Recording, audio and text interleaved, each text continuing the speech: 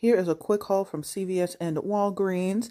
Would have taken y'all, but I am currently dog sitting. I had the dog with me. I'm um, also Ignore the missing nail. This is the Maybelline Dream Urban Cover. I've never tried this. I know everybody and their mama has already tried this, but whatever. This mascara from Maybelline. I guess it's new. Um, if it is, surprise, surprise, that I actually got a new product. This lip gloss right here, also from Maybelline. It's supposed to be a dupe for Fenty. Honestly, packaging, gorgeous. Can't wait to try it. Got this vinyl ink from Maybelline. Uh, the shade is Lippy, and I can't wait to try it because this actually might be a dupe for something. And I grabbed Maybelline Superstay Activewear Concealer in the shade 42 too. Not makeup related, but I got a bag of chips and some powdered donuts. Also, here's a dog I'm sitting. Why is he like, Ollie, what are you doing?